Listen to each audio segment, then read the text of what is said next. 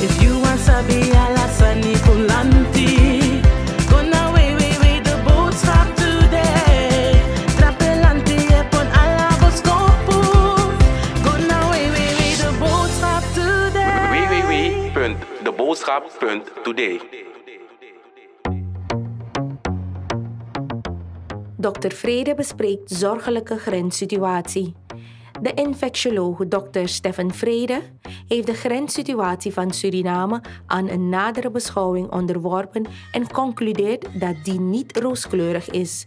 Zo wordt er onder meer een forse beweging geconstateerd aan de Frans-Braziliaanse grens, waar goudzoekers zeer actief zijn met alle risico's voor introductie van meer COVID-19 gevallen.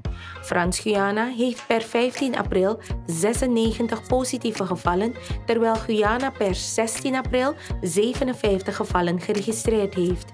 De meeste gevallen bevinden zich aan de grens, wat maakt dat deze makkelijk kunnen overslaan naar ons grondgebied. Vreden liet via een PowerPoint-presentatie tijdens de persconferentie van het Nationaal COVID-19 Management Team zien hoe de bewegingen plaatsvinden aan de grenzen. Het volledige bericht kunt u lezen op www.deboodschap.today.